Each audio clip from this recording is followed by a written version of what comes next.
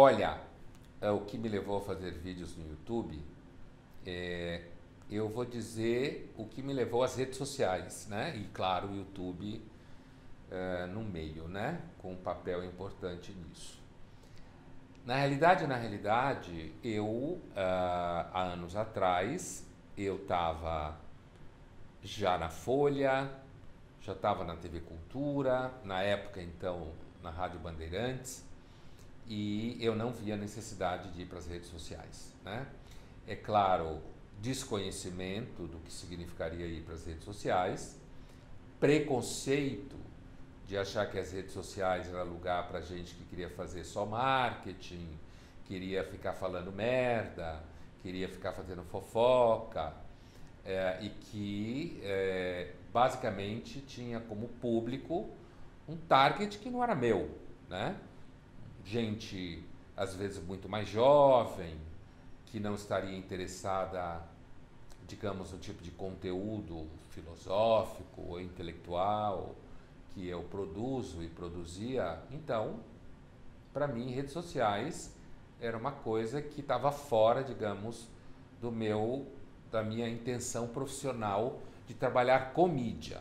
Eu sempre quis, desde a faculdade de filosofia, trabalhar na mídia e especificamente de cara na Folha e na Ilustrada, por entender que era uma forma de pautar discussões, de fazer parte do debate público, no que eu estava certo na minha avaliação naquele momento, na segunda metade dos anos 80. Né?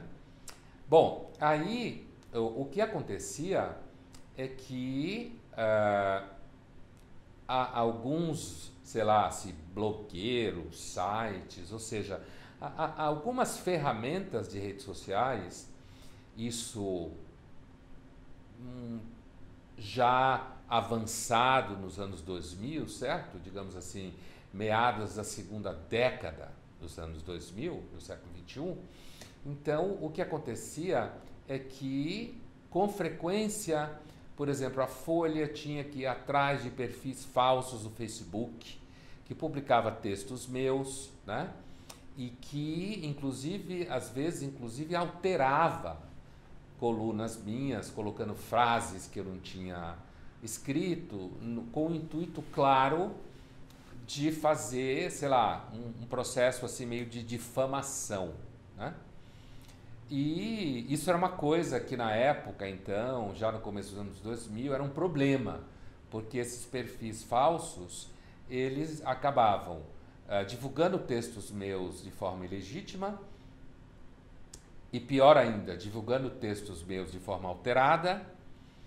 E até que um colega meu uh, de trabalho, um professor, Eric Messa, colega meu da FAAP, ele é, começou a falar para mim que a única forma de enfrentar é, esse tipo de coisa nas redes sociais, que é sempre um problema, era eu assumir as redes sociais como uma ferramenta minha, tal oficial, como se falava então. Né? E eu ir para as redes sociais. Porque aí a minha presença de fato nas redes sociais, ao longo do tempo, acabaria por uh, complicar a vida de perfis falsos, assim como complicar a vida de quem alterava meus textos e o que eu fazia, abrindo um espaço, uh, digamos assim, que seria oficialmente meu, ou seja, fazer o meu trabalho nas redes sociais.